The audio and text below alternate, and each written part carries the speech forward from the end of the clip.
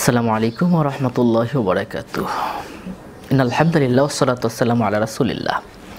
ওমাবাদ প্রিয় দর্শক, আজ আপনাদেরকে জানাব দোয়া ইউনুস। লা ইলাহা ইল্লা আনতা, সুবহানাকা ইন্নী কুনতু মিনাজ জালিমিন। এই দোয়াটার ফজিলত সম্বন্ধে। এই দোয়া পড়লে কি কি হয়? আসুন আমরা জেনে নেই। শুরুতেই আমি এই দোয়াটার ব্যাপারে বলে নিই। এই দোয়া পড়লে আল্লাহ পাকরবুল আলমিন আপনাকে বিপদ থেকে উদ্ধার করেন।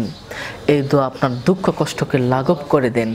এই দোয়া পেরেশানি ও অশান্তিগুলো দূর করে দেন।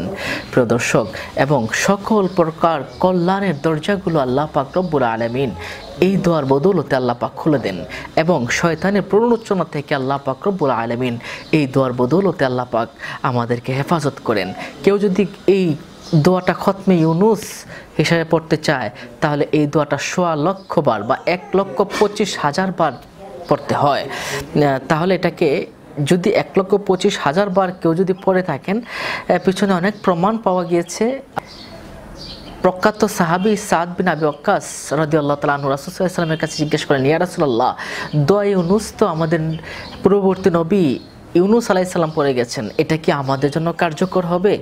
তখন রাসুল্লাহ সাল্লাহ সাল্লাম অবাক বিষয়ে বললেন, তোমরা কি জানো না ওয়াকাজা আলিকা নুনজিল মিনিন আর এই দোয়ার বদলতেই আমি আল্লাহর বান্দাদেরকে আমি উদ্ধার করে থাকি।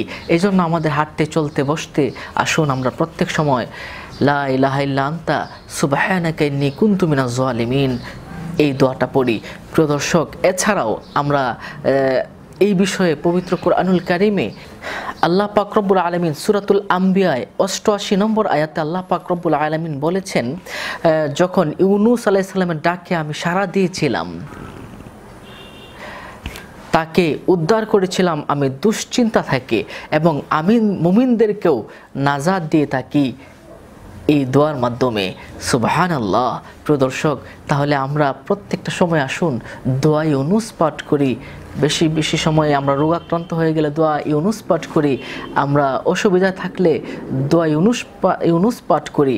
সেজদায় গিয়ে যদি কেউ চল্লিশ বার দোয়া ইউনুস পাঠ করে আল্লাহর দরবারে চায়, আল্লাহ পাকরব্বুল আলমিন তার মনের আশাগুলো কবুল আর মঞ্জুর করে নেন। সুবাহান আল্লাহ প্রদর্শক এই জন্য আপনারা সবসময় দোয়া ইউনুস, লা ইলাহা ইল্লা আন্তা, সুবাহানাকে নিকুন্তুমিনা জালিমিন। এই দোয়াটা পড়তে থাকুন।